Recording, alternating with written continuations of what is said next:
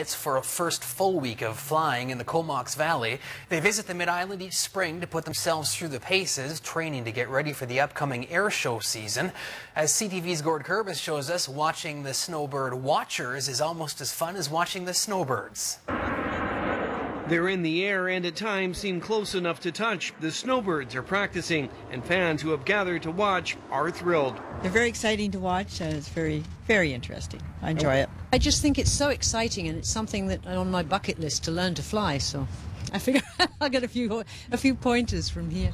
The snowbirds take to the skies over the Comox Valley twice each day to practice their maneuvers. A longtime follower of the bird says this formation doesn't look right. Raggedy. That one looked a bit raggedy.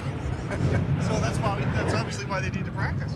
well, absolutely. And that's the thing you have to remember when you come here that it is practice. And Brian Walwork knows what he's talking about. He's been photographing every practice for the past several years. I probably shoot about a thousand a day.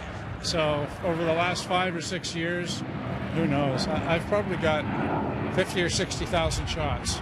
But I keep hoping that today's image will be better than anything I've already got. Lynn Salmon comes to watch and listen to the snowbirds. We got a scanner radio, and uh, it it uh, broadcasts what they're seeing in the cockpit.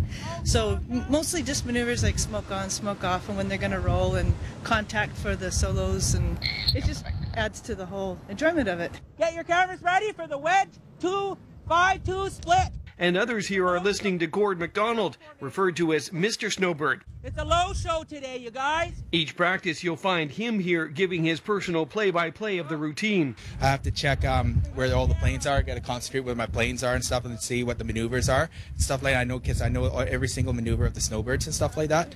And viewing from the ground for this practice is a former solo pilot from the Snowbirds team from 1997-98. He reflects back to what it was like being up there. It totally brings back the memories of uh, how much concentration it takes and where to look and um, how much you have to trust the person beside you because you actually don't you don't even look at the guy beside you you're looking at the leader aside from in the cockpit the best viewing locations are near the comox base with practices taking place most weekday mornings and afternoons gord kurbis ctv news comox